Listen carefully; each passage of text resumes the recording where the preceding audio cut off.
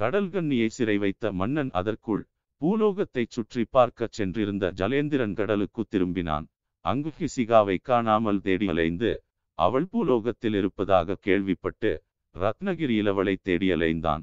இறுதியில் சாமந்தன் மூலம் அவள் மன்னர் அந்த புறத்தில் சிறைப்பட்டிருப்பதை தெரிந்து கொண்டு அவன் மனிதரனை சந்தித்தான். மன்னனிடம் ஹிசிகாவை விடுதலை செய்யுமாறு கெஞ்சினான். அவனுக்கு பதிலளிக்க விரும்பாமல் மனிதரன் தன் மந்திரியை நோக்கினான்.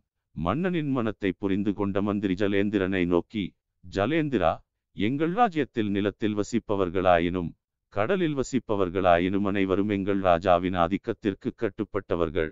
அதனால் ஹிசிகா மன்னரின் உடைமை என்றார்.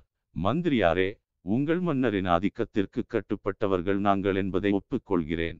ஆனால் மன்னரேயானாலும் தனிப்பட்ட நபர்களின் அந்தரங்கத்தில் குறுக்கிட அவருக்கு அதிகாரமில்லை என்றான். வார்த்தையை அளந்து பேச உங்களந்தரங்கத்தில் மன்னர் குறுக்கிடவில்லை. ஹிசிகா ஒரு குற்றவாளி.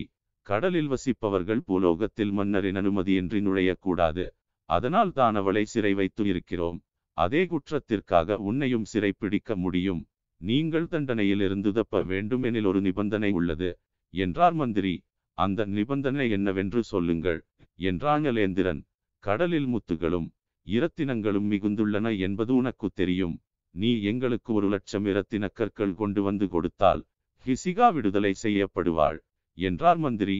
அதற்கு அவன் ஒப்புக்கொண்டு கடலுக்குள் சென்று ஒரு லட்சம் இரத்தின கற்கள் சேகரித்து கொண்டு வந்து மனிதரனிடம் அளித்தான். ஆனால் அப்படியும் ராஜா ஹிசிகாவை விடுதலை செய்யவில்லை. மாறாக இரத்தின கற்களை விற்ற பணத்தை தன் படை பலத்தை பெருக்கவும் ஏராளமான ஆயுதங்கள் வாங்கவும் செலவழித்தான். இந்த செய்தியுற்றர்களின் மூலம் வராக கிரிமன்னன் பூஷணனை எட்டியது. உடனே பூஷணன் ஒரு பெரும்படையுடன் திடீரென கூர்மகிரியின் மீது படையெடுத்தான் கடுமையாக மூண்ட போரில் மனிதரன் கொல்லப்பட்டான். கூர்மகிரி பூஷணன் வசம் வந்தது. சிறைப்பட்டிருந்த ஹிசிகாவை விடுதலை செய்த மன்னன் பூஷணன் ஜலேந்திரனை அழைத்து அன்பினால் இணைந்த உங்களை சேர்த்து வைக்க விரும்புகிறேன். நீங்களுங்கள் உலகத்திற்கு செல்லுங்கள் என்று கூறினான். மன்னன் பூஷணன் தங்களை என்ன செய்வானோ? என்று கலங்கிய ஹிசிகாவிற்கும் ஜலேந்திரனுக்கும் அவனுடைய பெருந்தன்மை மிகவும் மகிழ்ச்சியை அளித்தது.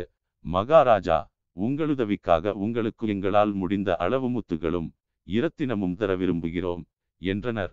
அதை கேட்டு புன்னகைத்த பூஷணன் நீங்கள் எனக்கு எதுவும் தர வேண்டாம். உங்களிருப்பிடத்திற்கு சென்று வளமுடன் வாழுங்கள் என்று கூறி விடை கொடுத்தான்.